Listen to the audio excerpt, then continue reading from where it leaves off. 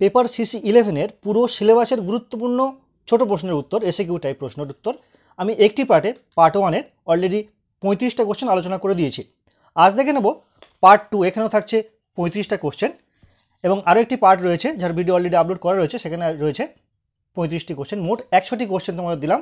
আশা করছি এই প্রশ্নগুলো করলে তোমরা তোমাদের ফাইনাল পরীক্ষায় পনেরোটি প্রশ্ন কমন পেয়ে যাবে। তো আজকে দেখে নেব, এই পার্ট টুর পঁয়ত্রিশটি গুরুত্বপূর্ণ প্রশ্ন। দেখো প্রশ্ন নাম্বার ছত্রিশ, অর্থাৎ এক থেকে পঁয়ত্রিশ পার্ট ওয়ানে আলোচনা করে দিয়েছি। ফ্রান্সের জুলাই বিপ্লব কবে হয়েছিল? আঠেরোশো সালে।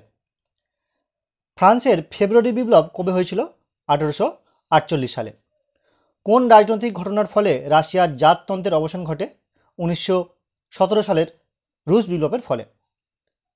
কোন বছর প্রথম নেপোলিয়ান নিজেকে সম্রাট হিসেবে ঘোষণা করেন? আঠেরোশো চার সালে। পলিগন্যাগ কে ছিলেন? ফরাসি সম্রাট দশম চার্লসের প্রধানমন্ত্রী ছিলেন পলিগন্যাগ। আঠারোশো এক সালে কাদের মধ্যে কনকর্ডাট বা ধর্মমীমাংসা চুক্তি স্বাক্ষরিত হয়েছিল? ফরাসি সম্রাট নেপোলিয়ান এবং পোপ সপ্তম পায়াসের মধ্যে হয়েছিল এই আঠারোশো এক সালের ধর্মমীমাংসা চুক্তি বা কনকর্ডাট চুক্তি। জ্যাকোবিন দলের একজন নেতার নাম লেখ। লেখো রোবোস্পিয়ার ছিলেন এই জ্যাকোবিন দলের অন্যতম প্রধান নেতা। জিরন্ডিন বা গিরন্ডিন দলের একজন নেতার নাম লেখো। বৃষ লাডাইড বা লুডাইড কারা ছিলেন? ব্রিটেনে শোষিত শ্রমিক শ্রেণি, যারা মনে করত যে এই শিল্প বা যন্ত্রপাতির মাধ্যমে তাদের জীবনে দুর্দশা নেমে এসছে বা যন্ত্রপাতির মাধ্যমে শিল্প কারখানাগুলি চলার জন্য তাদের জীবনে দুর্দশা নেমে এসছে, তাই তারা যন্ত্রপাতিগুলো ভেঙে দিয়ে আন্দোলন শুরু করেছিল। এই আন্দোলনকারীদের বলা হতো লুডাইড। এই আন্দোলনের নেতা ছিলেন নেড লুড। লুই ব্ল্যাঙ্ক কে ছিলেন? ফ্রান্সের খ্যাতনামা সমাজতান্ত্রিক নেতা ছিলেন লুই ব্ল্যাঙ্ক। কবে কে বার্লিন ডিক্রি জারি করেন? নেপোলিয়ান আঠেরোশো ছয় সালে এগারোই নভেম্বর বার্লিন ডিক্রি জারি করেছিলেন।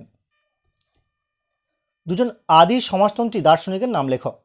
Robert Owen, Charles Fourier, Louis Blanqui, Saint Simon প্রমুখ। বার্লিন কংগ্রেস কবে অনুষ্ঠিত হয়? আঠেরোশো আটাত্তর সালের তেরোই জুলাই। ইউরোপ তথা আমেরিকায় মহামন্দা কবে দেখা দিয়েছিল?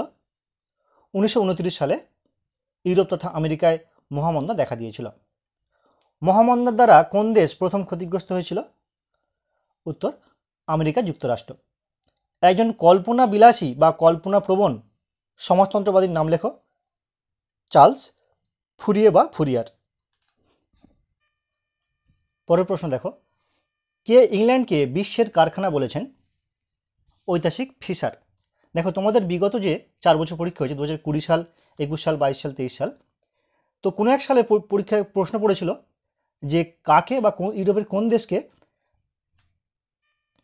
বিশ্বের কারখানা বলা হয়? এক্ষেত্রে সঠিক উত্তর হবে ইংল্যান্ড। ফরাসি বিপ্লব দ্বারা অনুপ্রাণিত হয়েছিলেন এমন একজন ইংরেজ কবির নাম লেখো, এখানে স্পেলিংটি একটু মিস্টেক রয়েছে। এটা হবে কবির নাম। William Wordsworth. জ্ঞানদীপ্তির যুগের একজন দার্শনিকের নাম লেখো। একাধিক দার্শনিক রয়েছে, যার মধ্যে অন্যতম দুজন হলেন রুশো মন্তেস্কু। ট্রোপো সম্মেলন কোন বছর অনুষ্ঠিত হয়?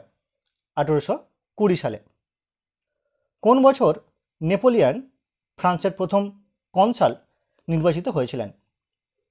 সতেরোশো নিরানব্বই সালে। দেখো, এখানে একটু বোঝার জিনিস রয়েছে। দেখো, প্রথম নির্বাচিত হয়েছিলেন সতেরোশো নিরানব্বই সালে।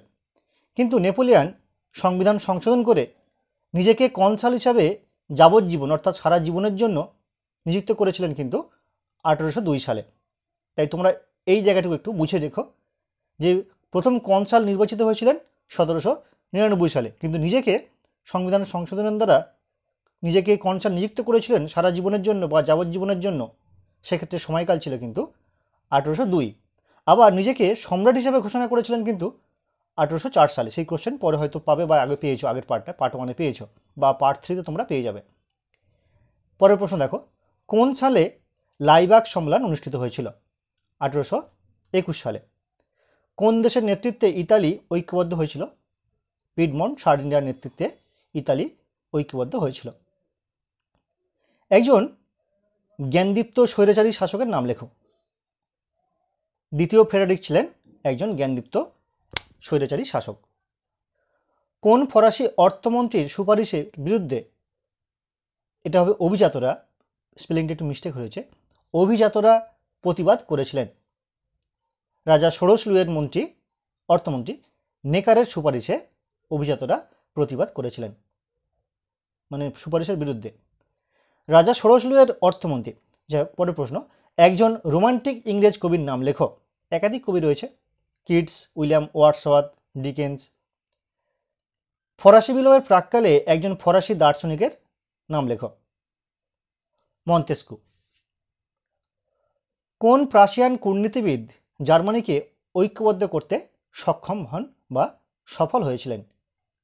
সঠিক উত্তর হবে বিসমার্ক। এই প্রসঙ্গে বলি, দেখো, তোমাদের যে বিগত চার বছরের পরীক্ষা হয়েছে ফাইনাল পরীক্ষা, সেক্ষেত্রে মোট ষাটটি প্রশ্ন রয়েছে পনেরো নম্বরের। সেই ষাটটি প্রশ্নের উত্তর কিন্তু তোমরা এই যে তিনটি পার্টে আমি একশোটি প্রশ্ন রাখলাম, এর মধ্যে আশা করছি ম্যাক্সিমাম কোশ্চেন তোমরা কিন্তু পেয়ে যাবে। এছাড়াও যেগুলো গুরুত্বপূর্ণ, সেগুলো আমি এই তিনটি পার্টের মধ্যে তুলে ধরলাম। আশা করছি তিনটি পার্ট তোমরা যদি করো ঠিকঠাক, তোমরা তোমাদের পরীক্ষায় প্রায় কোশ্চেন কমন পেয়ে যাবে। দেখো, পরবর্তী প্রশ্ন। তোষণ নীতির অন্যতম প্রবক্তা কে? Neville Chamberlain.